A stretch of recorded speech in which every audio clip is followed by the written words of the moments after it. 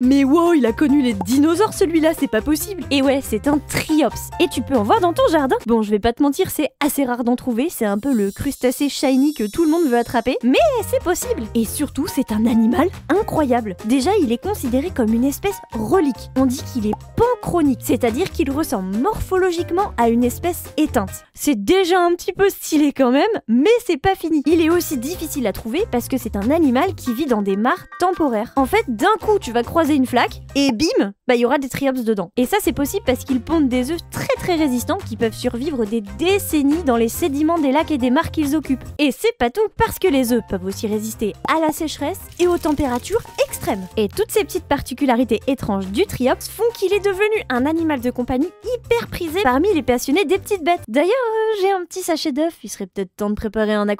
Allez, abonne toi pour pas louper notre prochaine vidéo